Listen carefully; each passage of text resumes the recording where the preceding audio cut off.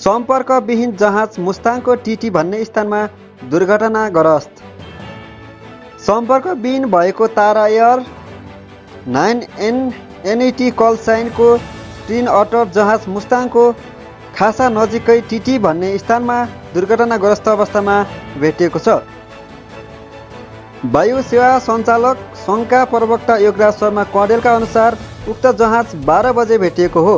पोखराबाट जमसमका लागि उडेको तारा एयरको जहाज बिहान नौ बजेर पचपन्न मिनटमा पोखरा विमानस्थलबाट उडेको थियो। उक्त जहाजमा चालक दलका सदस्यसहित बाइसजना सवार रहेका थिए। उडेको बिस्टी जोनसोङ पुग्नुपर्ने जहाज सम्पर्कविहीन भएपछि खोजी कार्य गरिएको थियो। उक्त जहाजमा चालक दलका सदस्यसहित बाइसजना सवार रहेको बताइएको छ जसमा क्याप्टेन प्रभाकर घिमिरे सहचालक उत्सव पोखरेल र एयर होस्टेस किस्मी थापा रहेको बताइएको छ।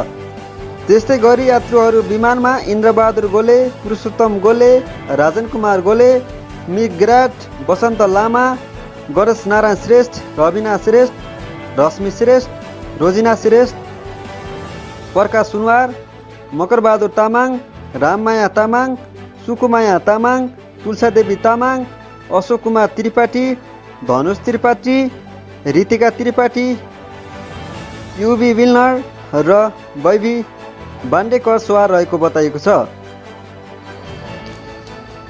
दर्शकबिन सम्पूर्ण मृतकप्रति भावपूर्ण श्रद्धाञ्जली व्यक्त गर्दछौँ।